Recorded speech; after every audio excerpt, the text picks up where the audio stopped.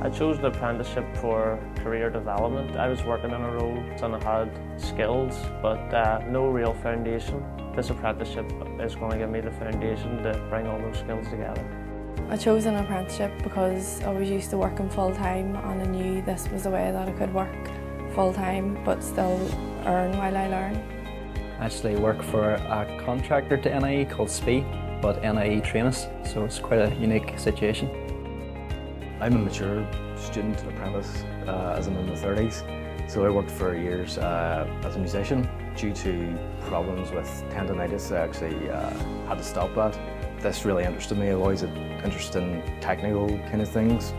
It's also really good opportunity because you, you learn a new skill, you get to retrain as you're, and you're being paid to do it as well, as well as doing qualifications in it. Before I started here, I was actually doing a course with Open University I knew it wasn't really what I wanted to do, but because I could still work full time while I was learning, I just chose that subject. I'm glad I got this opportunity. Uh, I get trained in the training centre, then I go out on site, and I like that balance of having on-site training and training in the centre as well. It's a very unique way and I think it's the best way of training that there is. The mix of both the theory and the practical is, is good. As I say, you're not just stuck in the classroom all day learning the theory, you know, you maybe do a wee bit of theory and then you're straight out putting that theory into practice and actually using your hands.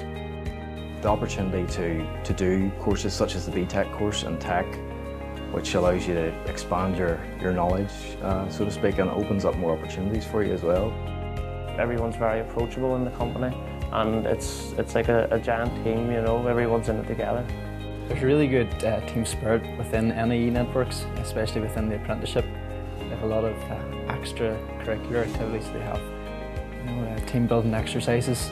They bring bring us away to do you know high ropes course and uh, go karting, all these sort of things. I also have charity football events where we have competitions, um, raising money, but also having a great time at the same time.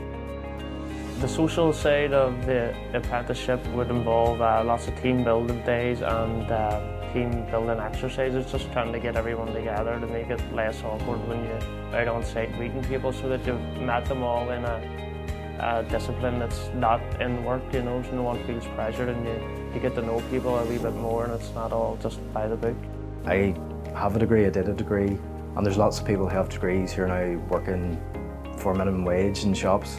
This offers a good opportunity to, to learn as you get paid to learn. It's a more in-depth kind of training where you're, you're learning both on-the-job training from experienced people, but you're also learning the technical side in, in college as well. So it's, it's, a, it's a very good course. Apprenticeships aren't just for boys. Um, I think girls are as capable as boys, especially in this day and age with women wanting working careers. And I think we're just as capable. For years, I would have seen you know, linesmen out on the job and thought, well, that's a class job to be doing. And now to actually be in the middle of it, to be doing that work and you know, during the storms to be able to get people back onto par and uh, just simple things like this, I find it really enjoyable and really rewarding.